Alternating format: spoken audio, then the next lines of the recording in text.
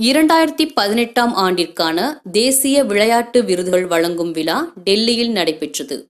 குடியரசுத் தலைவர் மாளிகையில் நடைபெற்ற இந்த விழாவில் குடியரசுத் தலைவர் ராம்நாத் கோவிந்த் விருதுகளை வழங்கினார். தேசத்தின் உயரிய விளையாட்டு விருதான ராஜீவ்காந்தி கேல் ரத்னா விருது இந்திய கிரிக்கெட் அணி கேப்டன் விராட் கோலிக்கும் உலக சாம்பியன்ஷிப் பளுதூக்குதல் போட்டியில் தங்கம் வென்ற மீராபாய் சானுவுக்கும் வழங்கப்பட்டது. கிராமப்புறங்களில் விளையாட்டு மேம்பாட்டு பிரிவில் ஈஷா அவுட்ரீச் துறை இரண்டாயிரத்தி பதினெட்டாம் ஆண்டிற்கான ராஷ்டிரிய கேல் புரோத்சகான் புரஸ்கார் விருது வென்றுள்ளது. இந்த விருதினை குடியரசுத் தலைவர் ராம்நாத் கோவிந்த் வழங்கினார்.